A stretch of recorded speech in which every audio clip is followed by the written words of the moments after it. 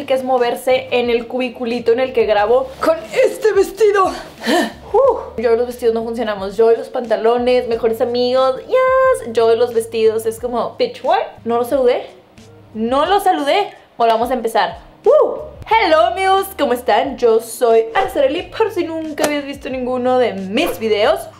El día de hoy, como ya vieron en el título, vamos a hacer un maquillaje para prom, para graduación. Y de hecho ya tengo un maquillaje de graduación. Es un maquillaje como más neutro, que no va a pasar de temporada nunca. No tiene ninguna tendencia Instagram de maquillaje ni nada. Entonces siempre te vas a ver bien slaying, yes, mamá Y esta vez quise hacer algo diferente, ¿sabes qué? Hay dos personas en la vida a las que les gusta nude, bonito, natural Que realce tus facciones en girl, the glitter horse Las que nos gusta vernos so extra as fuck. Esta vez vamos a hacer unos ojos así como potentes Que se te vean bien intensos, que resalte el café de mis ojos. Te voy a dar como todos los tips para de noche, los flashes, que esto, qué productos usar, qué cuáles no, cómo te dure. Todo ese trip. Hasta me puse un vestido largo en la vida para meterme en el mood de que me invitaron a prom en mi graduación. ¿Saben cómo los gringos es como tienen promposals? Se llaman así promposals, que es como pedir mano como de anillo de boda, pero para prom. En Estados Unidos es un big deal. Todo mundo pregunta para prom, para graduación. Entonces hay unas muy divertidas. De hecho, me encanta ver promposals, la verdad, porque hay unas que es de que, güey, que está haciendo y otros que ah, bebé. Vean este vato que le preguntó a su morra, le hizo una paleta de maquillaje. O sea, en ese momento le digo de que, o sea, anillo, ¿dónde está? O sea, me, me, preguntaste con una paleta de maquillaje. How cute. Luego este es como super basic white bitch. Me encantó de que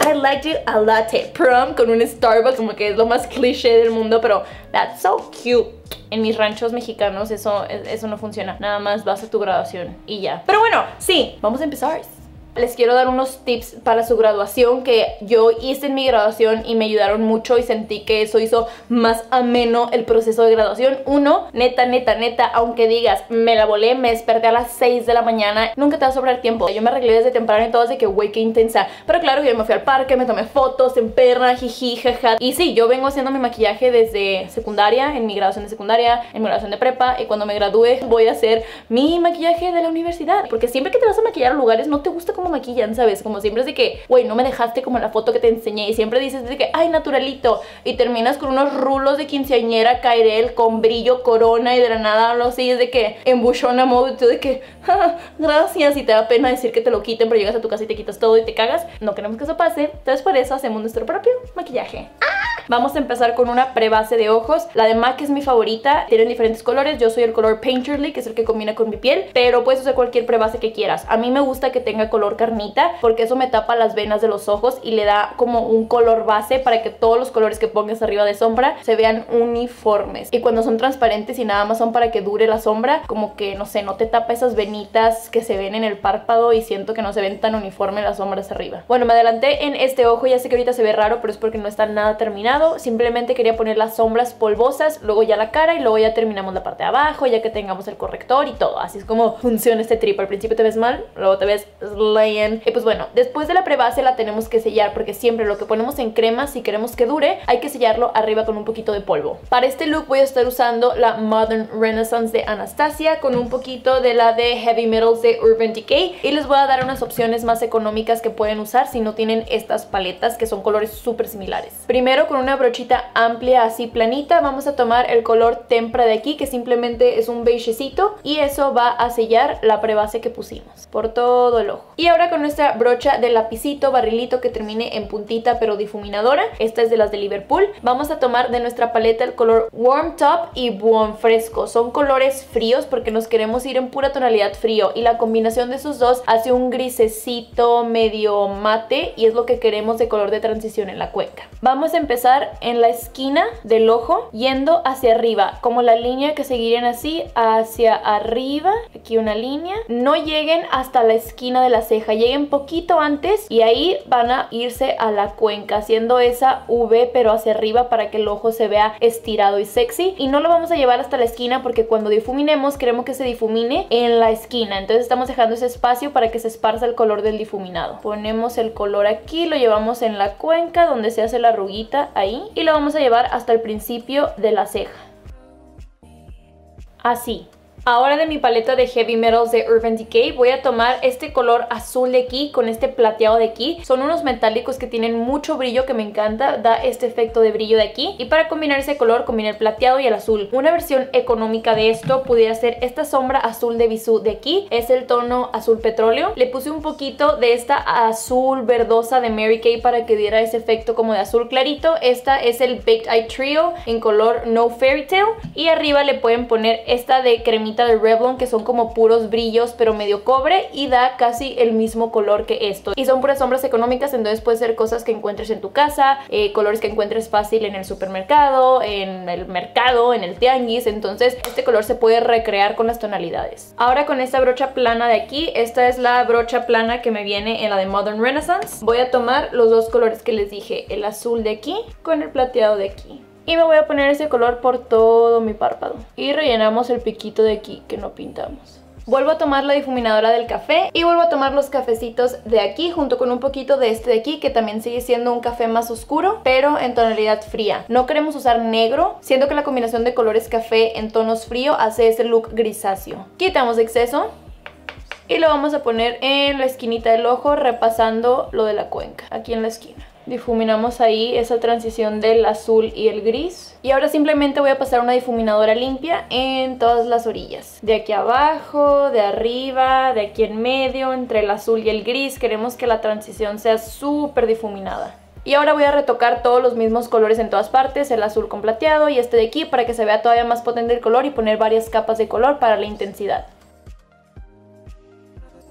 Ahora con una brochita súper chiquita así de lapicito compactita voy a tomar el color plateado solo y lo voy a combinar un poquito con este que se llama Acoustic que también es como un plateadito pero con un subtono más blanquito iluminador. Y lo vamos a poner para iluminar aquí nuestro lagrimal y que contraste con el plateado azulesco y que este se vea plateadosco blanco. ¿ven? ese contraste. Luego difuminamos un poquito hacia arriba y también vamos a poner un poquito en el huesito de la ceja y con la difuminadora sin color voy a difuminar ese color en el hueso de la ceja y también aquí.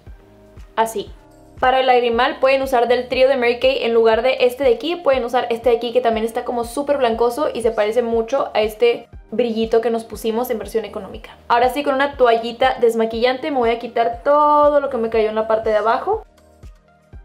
Me voy a poner un poquito de fijador de maquillaje en los ojos para que ya no se me mueva. Y ahora sí vamos a seguir con la cara y al final vamos a terminar los ojos, pero ya nos pusimos la parte polvosa que cae en toda la base. Es súper, súper, súper importante que tenga súper bien hidratada la cara y la parte de abajo de los ojos. Yo ya me puse una mascarilla antes de empezar este maquillaje y ahora como me quité la parte de abajo me voy a poner un poquito de cremita abajo de los ojos para que el corrector no se vea pastoso. Esta es una cremita de Lancome que ayuda a que también si estás hinchadita, si se te ve mucho la ojera, te ayuda a iluminar esa parte. Bueno, vamos a empezar con un rellenador de poros en la zona T, que es la zona en donde yo más tengo como poros abiertos, puntitos negros y cosas que quiero tapar. Este es el de Lancome. Ahora sí voy a poner mi base de maquillaje, voy a tomar una esponjita, esta es una Beauty Blender, pero puedes usar la de Morphe, cualquiera que tú uses, de las que puedas mojar y aplicar la base. Y voy a estar usando mi Dior Air Flash. Ponemos un poco en la Beauty Blender y lo empezamos a aplicar.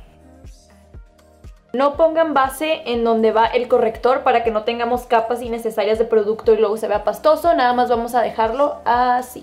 En el momento en el que escojas tu base para tu graduación, lo único que tienes que checar es que no tenga protector solar, que no tenga SPF, que no tenga bloqueador, que no tenga nada de eso, porque el bloqueador tiene una capa que refleja con los flashes, entonces en las fotos te va a ser brillosa, te va a ser blanca y no se va a ver nada chido. Y ahora te recomiendo que después de la base te pongas un poquito de chapstick. Los labios tienden a resecarse cuando nos estamos maquillando y para que al final te pongas tu lipstick y todo se vea chido, tienen que estar bien hidratados, entonces velos hidratando desde ahorita. Ahora nos vamos a poner nuestro corrector. Estos de aquí de Mary Kay son súper buenos y son una versión económica. Yo voy a estar usando este de aquí, son los nuevos correctores de All Nighter de Urban Decay. Tienen una cobertura completa, pero no están nada pesados y me gustó mucho. Y lo que hago ahora es pongo directamente el producto en mi Beauty Blender humedita. Y directamente con mi Beauty Blender empiezo a hacer este triángulo de abajo hacia arriba para iluminar esta parte de la cara. Y hace que el corrector se vea muchísimo más natural que cuando lo pones directamente en tu cara.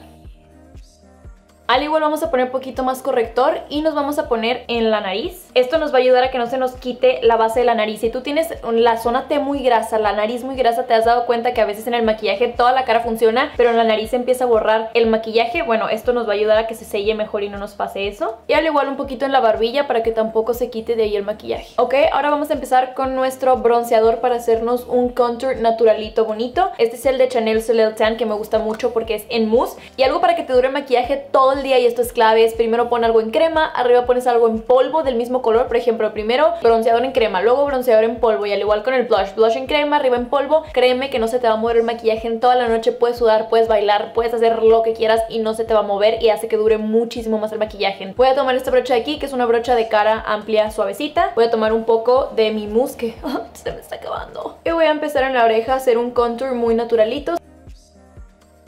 Ahora voy a tomar mi brocha de blush y un poquito de blush en crema, este es de Maybelline. Y me voy a poner el blush en el pómulo, no en el cachete, pero en el huesito del pómulo casi casi donde va el highlight porque queremos que se vea sexy nuestro pómulo. Se me olvidó decirles, si quieren hacer su contour con cremita, también está el de Fenty Beauty que es bueno y al igual también está el de LA Pro Girl que en teoría son como correctores, pero es un corrector súper oscuro que con la Beauty Blender lo puedes usar como si fuera un contour de cremita. Ok, ahora vuelvo a tomar mi Beauty Blender y le voy a poner un poco de iluminador líquido. El de Lancome es buenísimo, el video que hice como de Glowy Skin de Australiana Perfecta. Bueno, es con el de Lancome, pero como recuerdan, perdí mi bolsa de maquillaje.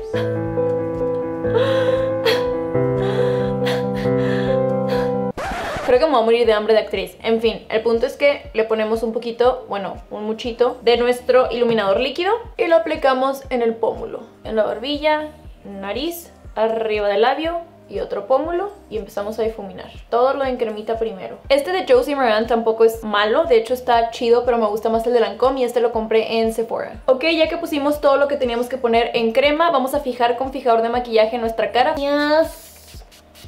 Dejamos que se seque Ok, ahora vamos a hacer un poquitito horneado de cara o baking, como le quieras decir. No muy intenso, no lo vamos a dejar 5 minutos para que se nos cocine la cara. No, lo vamos a dejar nada más un ratito y nos va a iluminar esta parte súper bonito. Pero no hay que tocar el highlight, solo en la parte del corrector para que ahí se vea bonito y siga brillando nuestro highlight. Pero algo bien importante es que si vas a hacer baking, cuida que el polvo suelto que estés usando no tenga el ingrediente sílica. La sílica refleja con los flashes. La sílica es lo que hace cuando las red carpets literalmente toman una foto y parece que están empanizadas, es por esto. Y en tus fotos te vas a ver empanizadas si usan sílica, entonces evita. Este tiene sílica, me encanta, pero es de día, no es de noche. Con flashes no funciona, entonces voy a usar el de Laura Mercier. Polvito translúcido. Con nuestro Beauty Blender tomamos poquito y lo ponemos abajo del ojo aquí así. Si no toquemos nuestro highlight, lo llevamos aquí en la esquinita del ojo al igual acá donde pusimos el corrector. Así podemos poner poquito en la frente si quieren sellar esta parte y que no les brille. Como ven no es un baking intenso, no tengo mucho polvo. Y ahora simplemente con una brocha de cara amplia limpia nos vamos a quitar ese exceso de polvo. Como ven mi highlight sigue brillando porque no lo toqué, pero esta parte ya está súper mate y se nos ve lisito, lisito abajo del ojo. Ok, ahora voy a tomar mi bronceador en polvo. Este es de Physicians Formula, el Butter Bronzer, pero pueden utilizar el que sea que sea mate y nada más voy a poner súper poquito, nada más para sellar el que ya pusimos en crema. Con este mismo en polvo voy a tomar una brocha difuminadora más chiquita y con esto me voy a hacer contour de nariz. Lo mismo con un rubor en polvo, tomo poquito y retoco el rubor aquí. Y lo mismo con el iluminador, este iluminador en polvo que es de Becca, es en polvo, pero no te deja el polvo en el poro, por eso le pongo un poquitito arriba, nada más para que brille un poquito más el que ya pusimos en crema, pero no uses uno que se vaya el brillo por toda la cara, que esté muy polvoso, generalmente tienden a hacer esto, este de Becca es muy bueno, los de Kylie Jenner son muy buenos, entonces solo es buscar uno bueno. Lo pongo aquí en el pomulito y ya brilla un poco más. Alright then, ahora vamos a terminarnos los ojos porque ahorita se ven pues medio gachos la neta, pero al final todo va a tener sentido. Volvemos a tomar la que usamos para la cuenca para el color gris mate y con los mismos colorcitos, Buon Fresco y top de aquí vamos a seguirle en la parte de abajo esta esquina la seguimos hacia abajo hasta la mitad del ojo aquí así que se vea como un solo brochazo que no se ve de que aquí y luego si el pico se fue para acá o más abajo que todo se vea Volvemos a tomar la brochita plana y nuestra combinación de azul con plateado. Y nos vamos a poner ese colorcito aquí abajo solo en el primer cuarto y ahorita vamos a difuminar con el mate que pusimos grisecito. Vuelvo a tomar la difuminadora, vuelvo a tomar los colorcitos mate y paso ese color aquí abajito de este para que se oscurezca, aquí en medio para que se difuminen muy bien esos dos colores y aquí en la esquina para que se oscurezca más. Podemos agarrar un poquito el que está más oscurito para hacer un poquito más oscura esta esquinita y aquí.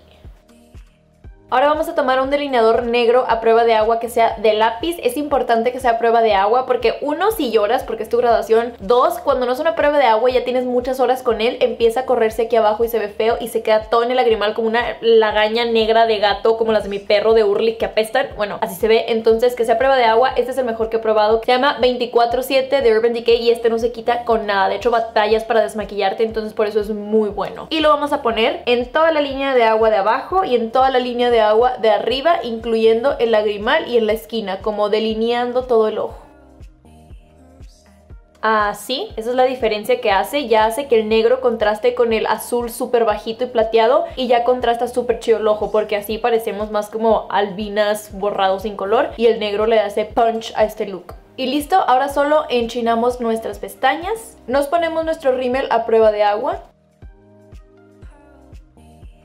y ahora nos ponemos nuestras pestañucas falsas. No quiero andar ahí en buchona, así, pestañuca que me tape toda la sombra. Quiero que se vea la sombra, quiero que se vea ojo grande, sexy. Entonces solo tomé estas que tienen más larga la esquina para que la esquina sí me levante mucho, pero en esta parte nada más se vea más tupidita. Así, como ven, no están tan grandes, simplemente se ve como más grande en la esquinita. Y ya estamos casi listas, nada más nos falta nuestro lipstick y este ya va a ser de tu elección. Pero como tenemos unos ojos tan dramáticos, yo diría que sí será como un nude, un duraznito, un cafecito, un rosita, algo así. Yo le voy a poner un cafecito que siento que el café va mejor con azul que rosa con azul. No sé, no hay reglas en el maquillaje. Puedes usar naranja si quieres, puedes usar a mismo azul si quieres. Yo voy a estar utilizando uno que sea como cafecito naranjoso para que contrarreste lo todo frío de los ojos y esté más cálido en la boca. Primero me voy a quitar el chapstick que me puse para que estén hidratados. Y ahora me voy a sobredelinear un poquito la boca para que se me vea más grande. Me voy a poner este de Mary Kay que se llama Rich Trouble, que es como un nude cálido. Y solo me puse poquito y con el dedo lo voy a esparcir para que no se vea tan fuerte el color. Me voy a quitar mucho exceso, nada más quiero que se vea un subtonito naranjita, no quiero que esté fuerte. ¿Saben qué? Yo creo que con el mismo delineador me voy a pintar los labios porque me gustó ese color y como que no encuentro un lipstick que me guste como quede. Con el dedo quito exceso y arriba le voy a poner un poquito de chapstick de este mismo que me puse al principio porque quiero brillo pero no quiero gloss así de que, que refleje, solo quiero que no esté seco el labio y que brille como satinado. Así que brilla, pero no es un gloss que refleja. Ahora es súper importante si se te van a ver los hombros, los huesitos o algo así. Vamos a agarrar un poco de iluminador y nos tenemos que poner glow en nuestro hombro, en nuestros huesitos. Eso hace que se vea como más sexy y glowy el look. Y pues bueno amigos, nuestro look está terminado.